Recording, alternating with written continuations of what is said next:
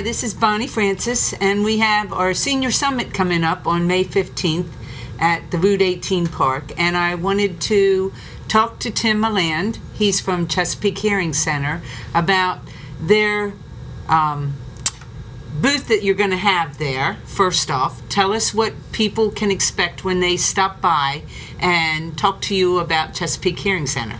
Well, the summit, which is uh, on May 15th, is fantastically timed for us because May is Better Speech and Hearing Month. And Oh, so during the month of May, we, we make a concentration of making sure that we're out in the community, Mm-hmm. spreading the good word of doing good things for your hearing as far as conservation, making sure everyone's pulling out their lawnmowers, they're doing gardening, they're bringing out a lot of noisy equipment. Okay. Let's make sure we're wearing hearing protection to protect what we have. And also, as we're coming out, just like our grass is growing and our, you know, things are budding, we're coming out of our homes and maybe we've been inside all winter not hearing so well. So this is a great Oh, time of year to get your hearing checked. So we'll be there screening hearing and answering questions about if you do have a little bit of a hearing loss, what can you do about that? We'll be there with an audiologist uh, uh, to answer questions, and we'll have plenty of information and giveaways this year to help people uh, learn more about hearing and hearing loss. So, what actually does an audiologist do? Well, an audiologist is someone who has their doctorate level degree in audiology. They go through a program, undergraduate in speech and uh, and hearing disorders, and then they go to a postgraduate degree, which is a concentration in just hearing disorders. It's audiology. They study all the physiology, mm-hmm. the, the difficulties that people have. So when they come out, they are at doctorate level, and their concentration truly is the ear and inside. So if you have a problem with your ear and inside, that's a non-medical problem. This is what an audiologist do does.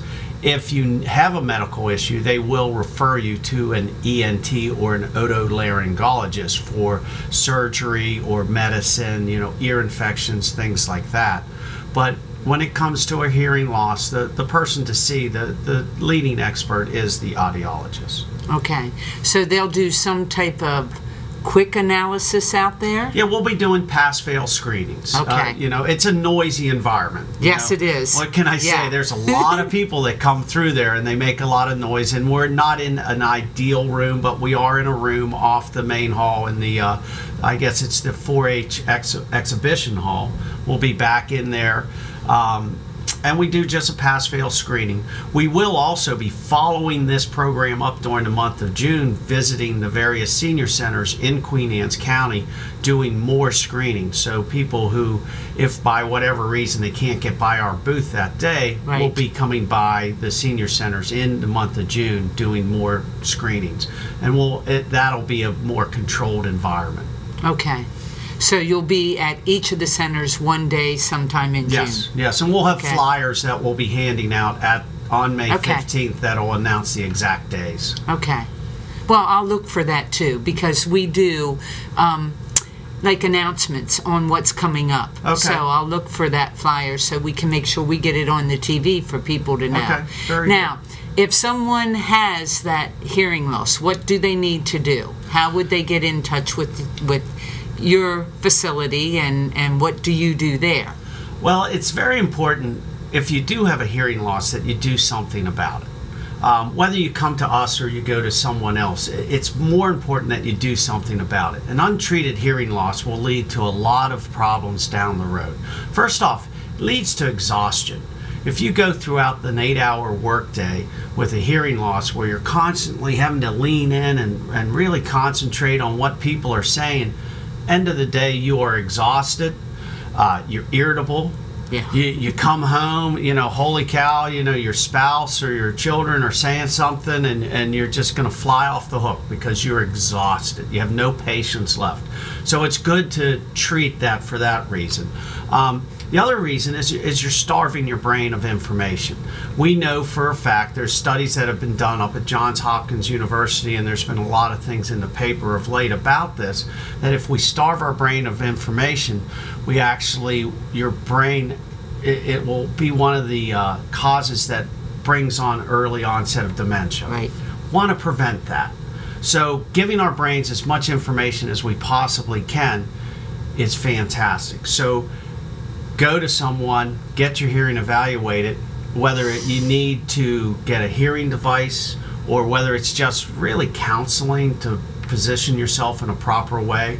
Uh, you'd be amazed how many people just have ear impaction of wax and we can get their ears cleaned out and they hear a whole lot better. Sometimes people just have a mild hearing loss and they just need to be aware of that and put themselves in strategic positions so that they can hear better. Right.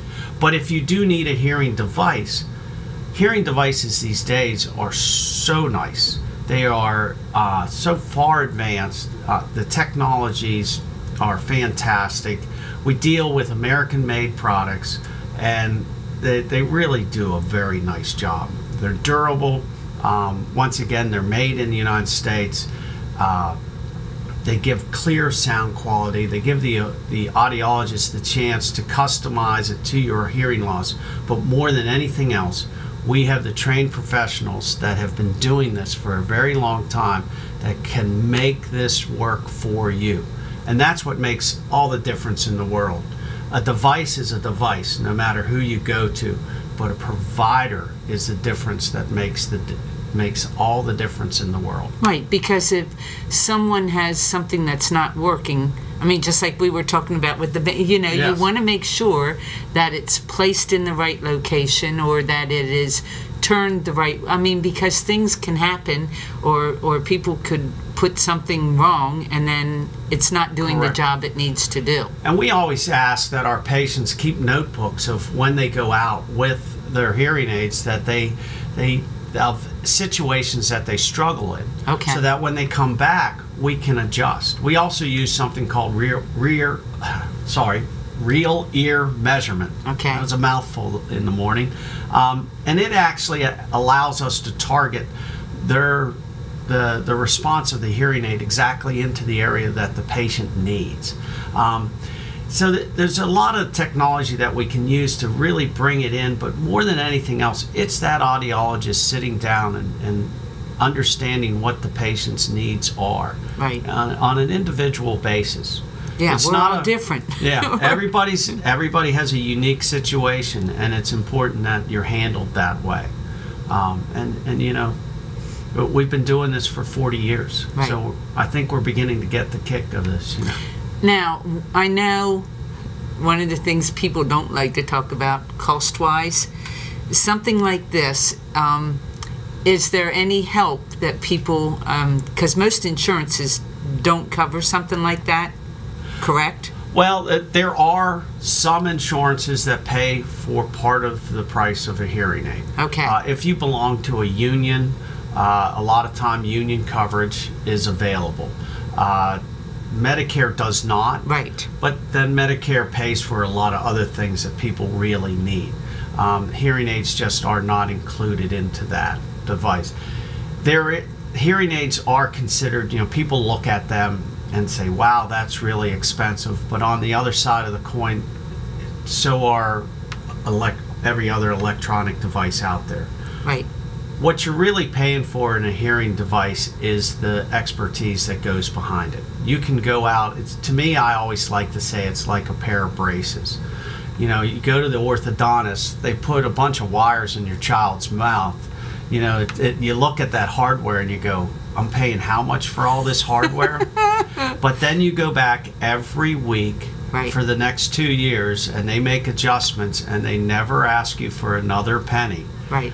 When you come to us, you, we do charge you a couple thousand dollars, but we never ask you for another penny because we're going to stand behind that product Right. until it's out of warranty. When it's out of warranty and there's a charge that incurs, then, then we unfortunately have to pass the So- charge on to you.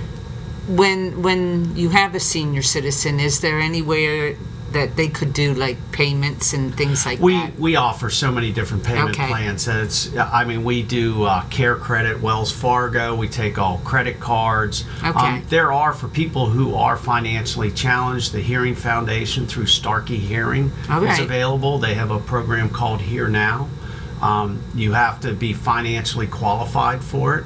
Uh, you can go on to uh, But that's why we do this, thehearingfoundation.com. You know, Yes. so people can get that information and Absolutely. find out. and we participate with them. We actually, $25 out of every hearing aid that we sell uh, that's manufactured in the United States goes to uh, the Hearing Foundation. Good. So we help found, uh, fund this foundation.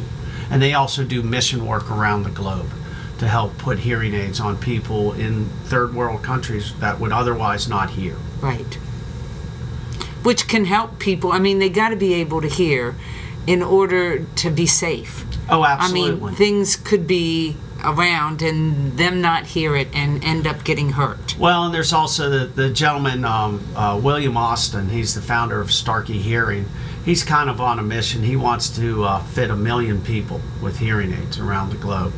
And his mission is he wants people to see that there are Americans that'll come out and do good with no political agenda.